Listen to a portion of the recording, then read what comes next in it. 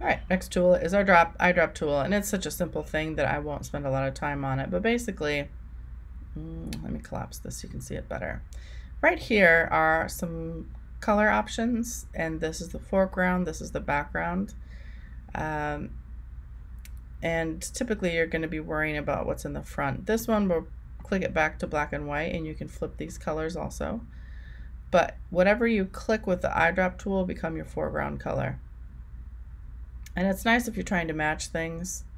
Um, what happens as you click on different colors is if we go into colors, um, you know, you can see specifically what color that is.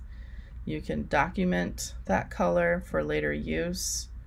Um, and so it's kind of a nice color to have. If you click on here, you get the the different ways of figuring out what a color is. This is your hexadecimal number.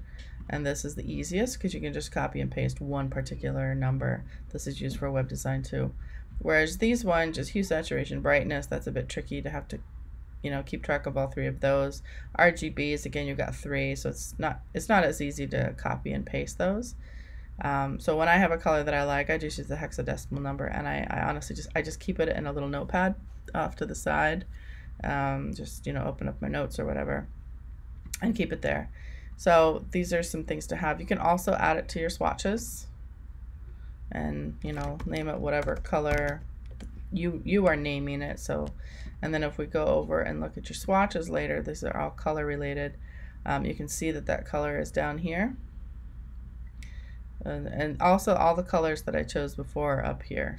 Um, they're not kept for long. As you click more you can see that they kind of go away um, but this one remains because that one's actually added to your swatches. So I'll choose another color here. Go ahead and double click that, add to swatches, and then, um, oops. I named it funny, but there you go. Uh, okay, so that's what the eyedropper does. And that's, I, I we're not going to be covering any of these items within our class, so I'm not going to worry about those ones right now.